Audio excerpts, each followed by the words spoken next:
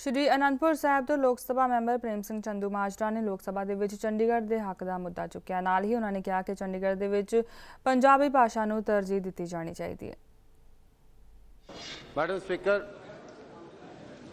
आज़ादी के बाद पंजाब के साथ बहुत न्याय वितकरे हुए बहुत लंबी कहानी है आज मैं केवल एक बात करना चाहता हूं माननीय गृह मंत्री जी बैठे हैं जब पंजाब हरियाणा रीऑर्गेनाइजेशन एक्ट बना उस फार्मूले के तहत वहाँ एम्प्लॉज और ऑफिसर जो रखने थे, वो साठ चालीस की रेशो में बंटवारा था उनका। आज नया सर्वे आया पिछले कुछ दिनों में। वहाँ पाँच परसेंट ही पंजाब के ऑफिसर रह गए एम्प्लाइज रह गए। और हरियाणा के भी कम हो गए कि नया यूटी केडर बना दिया गया।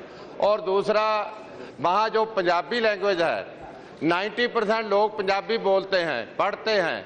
इंग्लिश को ऑफिशियल लैंग्वेज बना दिया गया, पंजाबी को सेकंड लैंग्वेज भी नहीं बनाया गया। सो मेरा निवेदन है आपके माध्यम से माननीय गृह मंत्री जी को, ये जो नया वितकरा पिछले पैंसठ वर्षों से हो रहा है, आज हम अपेक्षा करते हैं।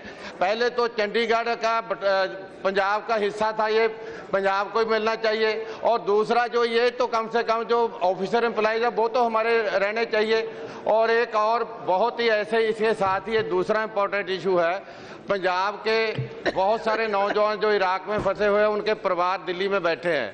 मैं आपके माध्यम से निवेदन करना चाहता हूँ सरकार को कि उनके परिवारजनों को सेटिस्फेक्शन के लिए उसका जो असली पोजीशन है रियल फैक्ट्स हैं परिवारों को दिए जाए ताकि परिवार सेटिस्फाई हो पाए।